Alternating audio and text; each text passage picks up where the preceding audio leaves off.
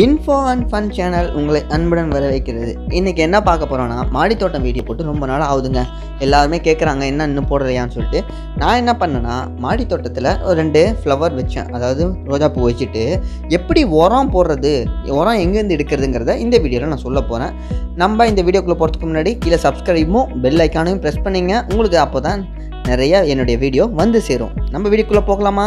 Subscribe பண்ணிட்டா வீடியோக்குள்ளே போகலாம். இப்போ பார்த்தீங்கன்னா கீழே ஒரு கிரவுண்டு எங்கள் வீட்டு பக்கத்தில் காலி கிரவுண்ட் இருக்குது என்னடா எரும மட்டை காமிக்கிறேன்னு நினைக்காதீங்க. இது வந்து மாட்டு சாணம். அதாவது இங்கே பக்கத்தில் ஒரு மாட்டு தொழுவம் இருக்குது எங்கள் வீடு பக்கத்துலேயே மாட்டு தொழுவம் இருக்கனால எங்களுக்கு கவலை இல்லை. நீங்களும் வந்து பார்த்தீங்கன்னா மாட்டு தொழுவத்தை தேடி அலையலாம். அப்படி இல்லைன்னா கடையிலேயே மாட்டு சாணத்தை வாங்கிக்கலாம். இது எப்படி தயாராகுதுன்னா மாடு சாணம் போட்ட பிறகு அது வந்து வெயிலில் காயுதுங்க.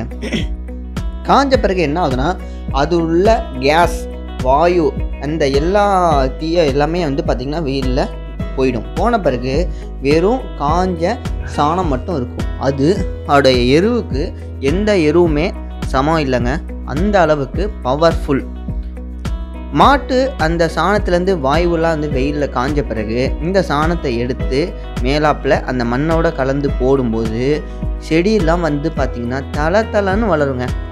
எப்படி வளரும்னா தலை தலை தலை கொழு கொழுன்னு வளருங்க. சரிங்க. நம்ம வந்து இந்த மாட்டு சாணத்தை நான் எடுத்துகிட்டு போகிறேன் சரி ரொம்ப நாள் ஆச்சு. நான் வந்து ஒரு டூ மந்த்ஸ் ஒன்ஸ் இது வந்து போடுவேன். நீங்கள் மந்த்லி ஒன்ஸ் கூட போடலாம். சில பேர் இப்போ மண் மாற்றுவாங்க இப்போ என்னென்னா ஒரு நாலு வாட்டி கீரையை வந்து அறுவடை பண்ணுறோன்னு வச்சுங்களேன் அந்த டைமில் என்ன பண்ணணுன்னா நம்ம வந்து அந்த கீரைக்கு வந்து மண் மாற்றணும்னு சொல்லுவாங்க. அந்த டைமில் போடலாம். இன்னும் மாடு சுற்றிக்கிட்டே இருக்குன்னு. சரிங்க. அதை உர அந்த இதை வந்து எடுத்துகிட்டு வந்துட்டேன். பொன்னாங்கண்ணி கீரையை நான் தான் இன்றைக்கி பண்ணேன். மண் மாற்றினோடனே என்ன பண்ணிட்டேன்? அதில் வந்து கொஞ்சம் சாணத்தையும் சேர்த்துட்டு க்ரோ பேக்கில் போட்டு தனியாக வைக்க போகிறேன் ஓகேவா இது வந்து பார்த்திங்கன்னா அந்த மாட்டு சாணத்தை ஒரு வாளியில் எடுத்து வச்சுட்டு வந்திருக்கேன். நானும் எங்கள் வீட்டு குட்டி பையன் தான் செய்ய போகிறோம் இதை. இது கையில் தொட்டால் ஒன்றும் ஸ்மெல்லாம் வராதுங்க. இந்த மாட்டு சாணங்கிறது ஸ்மெல்லே வராது. அது வந்து என்ன சொல்கிறதுனா தண்ணியாக இருக்கும்போது தான் அது வந்து ஸ்மெல் வந்து ஒரு மாதிரியாக இருக்கும். இப்போ வந்து பார்த்திங்கன்னா வெயிலில் காஞ்ச பிறகு ஸ்மெல்லாம் வராது. இங்கே பாருங்கள் இது வந்து மிளகாய் செடி. மிளகாய் செடிக்கு போன மாதம் வச்சேன். இது வீடியோ போகிறதுக்கு முன்னாடி போட்ட வச்சுருந்தேன் மிளகாய் செடி. அதுக்குள்ளே அஞ்சு மிளகாய் முளைச்சிருக்கு. ஒரு சின்ன மிளகாய் செடியில் அஞ்சு மிளகாய். இன்னும் அஞ்சு மிளகாய் வந்துகிட்டு இருக்கு. On the way? ஓகேவா இது என்ன பார்த்தீங்கன்னா அந்த உரத்தை லைட்டாக நுணுக்கி மேலாப்பில் போடுறேன். ரியாலிட்டியாக சொல்லணும்னா இப்படி மேலாப்பாக போட வேண்டாம். இப்படி மண்ணை நோண்டி சைடில் வைக்கணும். நான் வந்து இப்போ உங்களுக்கு வீடியோ காமிக்கிறதுக்காக என்ன பண்ணுறேன்னா இப்படி மேலாப்பில் போடுறேன். இது வந்து பார்த்திங்கன்னா தூதுவலை நான் வீடியோ போன வீடியோ போடும்போது இந்த தூதுவலைங்கிறது பார்த்திங்கன்னா ரொம்ப கம்மியாக இருந்துச்சு. ஸ்டார்டிங் ஸ்டேஜில் இருந்துச்சு. அதுலேயே மணத்தக்காளி கீரையும் வச்சுருந்தேன். ஆனால் மணத்தக்காளி கீரை போகி இப்போது தூதுவலை வந்து பார்த்திங்கன்னா அதிகமாக மெஜாரிட்டி எடுத்ததுனால அது எல்லாமே போயிடுச்சு. அதனால தான் எல்லோரும் சொல்லுவாங்க ஒரு க்ரோ பேக்கில் ஒரு செடியை மட்டும் வைங்கன்னு. நான் இதெல்லாம் க்ளீன் பண்ணணும் நெக்ஸ்ட் வீடியோவில் ஓகே அதை பார்க்குறேன். வெள்ளை சங்குப்பூலாம் இருக்கேன் என்கிட்ட. இது வந்து பார்த்திங்கன்னா மணத்தக்காளி கீரையை தனியாக ஒன்று வச்சுருக்கேன். ஒரு மணத்தக்காளி கீரை செடி தாங்க வச்சேன். பிரான்ச்சஸ் பாருங்களேன். இதுலேருந்து ஆஞ்சனா ஒரு நாள் ஃபுல்லாக சாப்பிட்ற அளவுக்கு கீரை இருக்குது அதுலேயும் கொஞ்சம் நிறையா போட்டேன். ஏன்னா மண் மாற்றும் போது அதுக்கு போடணும். இது வந்து சங்குப்பூங்க சங்குப்பூடைய இதுக்கு நான் கொஞ்சம் போட்டுக்கிறேன். இது வந்து மண்ணை நோண்டி வைக்க முடியல. அதனால் மேலாப்பிலேயே போட்டு வச்சிடுறேன். இது வந்து ப்ளூ கலர் சங்குப்பூ. சங்குப்பூ பற்றி உங்களுக்கு நிறைய இன்ஃபர்மேஷன் இருக்குது நான் அடுத்த வீடியோவில் போடுறேன். நான் சோத்துக்க தலைக்கு போட மாட்டேன். ஏன்னா அதுக்கு வெறும் தண்ணி மட்டுமே இருந்தால் போதும் மண் மட்டும் இருந்தால் போதும். அது வறண்ட நிலையில் தாவரம். இந்த ரோஜா செடிக்கு நான் இப்போ போடலை. சரி நெக்ஸ்ட் டைம் பார்த்துக்கலாம். மீதி இருந்தால் போட்டுக்கலான்னு வந்துட்டேன். இது வந்து பார்த்தீங்கன்னா துளசிங்க கருந்துளசியும் கிருஷ்ண துளசி அதாவது பெருமாள் துளசி சொல்லுவாங்க. இது ரெண்டுத்துக்கும் போட்டேன். நெக்ஸ்ட்டு வந்து பார்த்திங்கன்னா பாலக்கீரை. பாலக்கீரைக்கு நிறைய உரம் தேவைப்படும். இது வந்து ஒரு மாதத்துக்கு ஒரு வாட்டி தான் அறுவடை பண்ண முடியுது. ஏன்னா ரொம்ப வளர்ச்சி கம் கம்மியாக தான் இருக்குது மண் நிறையா வேணும் உரமும் நிறையா வேணும். ஓகேவா இது நிறையாவே போட்டுட்டேன். போட்ட பிறகு இது இப்போ தான் வந்து பொன்னாங்கண்ணியை ஒரு இதுலேருந்து இன்னொன்று எடுத்து வச்சேன். அதனால் அந்த டப்பு காலியாக இருக்குது இதில் நான் வந்து அரைக்கீரை போட போகிறேன் அரைக்கீரை சிறுக்கீரை இதெல்லாம் எப்படி போடணுங்கிறது அடுத்த வீடியோவில் நான் உங்களுக்கு போடுறேன். அடுத்த வீடியோ உங்களுக்கு வந்துக்கிட்டு இருக்கு. நீங்கள் அப்படி தான் பண்ண வேண்டியது ஒன்றே ஒன்று தாங்க கீழே சப்ஸ்கிரைப்னு ஒரு பட்டன் இருக்குல்ல. ப்ரெஸ் பண்ணிவிட்டு பெல் ஐக்கானை அழுத்திடுங்க. உங்களுக்கு நான் போடுற எல்லா வீடியோவும் வரும். எல்லா டிப்ஸும் வரும். நீங்கள் கமெண்ட் செக்ஷனில் டவுட் கேட்டிங்கன்னா உங்களுக்கு எக்ஸ்பிளைன் பண்ணி ஒரு வீடியோவே போட்டுருவாங்க. ஓகேவா இப்போ என்ன பண்ணியிருக்கேன்னா இந்த பொன்னாங்கண்ணி கீரைக்கு கொஞ்சம் உரம் அப்படியே உள்ளே திணிச்சு வச்சுருக்கேன். அவ்வளோ அடர்த்தியாக வளர்ந்துருக்குங்க. ஒரு சின்ன டப்பில் எவ்வளோ கீரை வளர்ந்துருக்கு பாருங்கள் இதை நான் அறுவடை பண்ணேன்னா இந்த பொன்னாங்கண்ணி கீரையை ரெண்டு வாரத்துக்கு அப்படியே வந்து நம்ம கூட்டு வைக்கலாம்.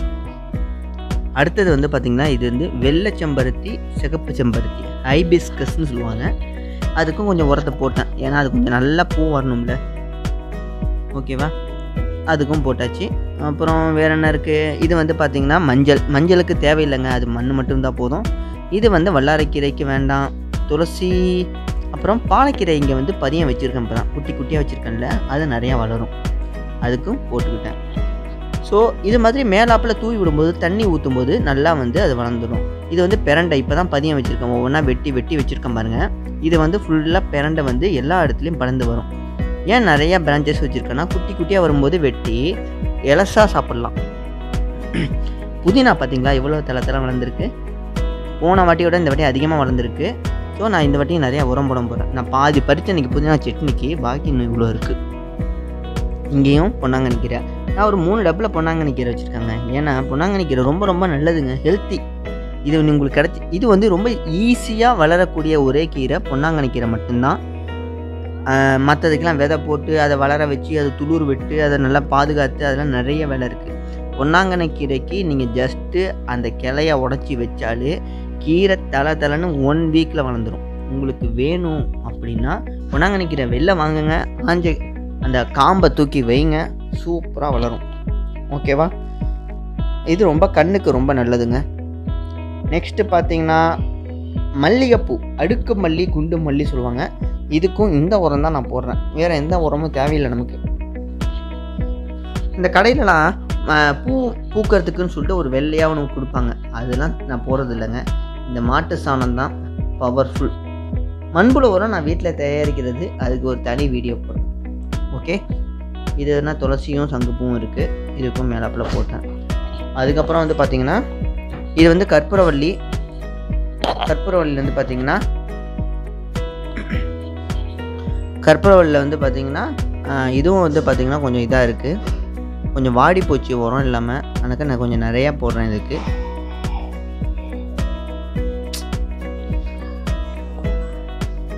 அப்புறம் வந்து பார்த்திங்கன்னா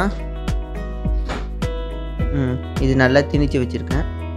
மண் ஊற்றி இப்போ பாக்கி இன்னும் கொஞ்சம் உரம் இருக்குது அந்த உரத்தை என்ன பண்ணலாம்? உரங்கிறது என்ன? மாட்டு சாணம் தான். இன்னும் இருக்குது நான் எங்கே போடலன்னா நம்ம மிளகாய் சாரி எதுக்கு? ரோஜா செடிக்கு போடலங்க. எங்கள் வீட்டில் நாலு விதமான ரோஸ் இருக்குது அந்த நாலு விதமான ரோஸுக்கும் இப்போ போட போகிறேன் ரோஸுக்கு மோஸ்ட்லி இந்த டீத்தூள் தெரியுமா?